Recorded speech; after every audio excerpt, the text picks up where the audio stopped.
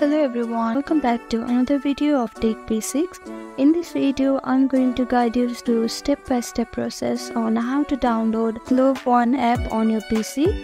If you are Mac user, first open your App Store. After opening your App Store, you can see search bar on the left top corner. Click on it and type in Globe One app now scroll down a little bit until you see this logo, click on it. Here you can see get option, click on get. Now click on install. Now it is going to ask for verification. After the verification, your download has been started. It may take some time depending on how fast your internet is.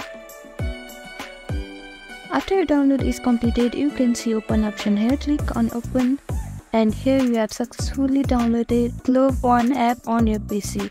Thank you for watching this video. I hope this video was helpful to you. Please do like, share and subscribe to our channel.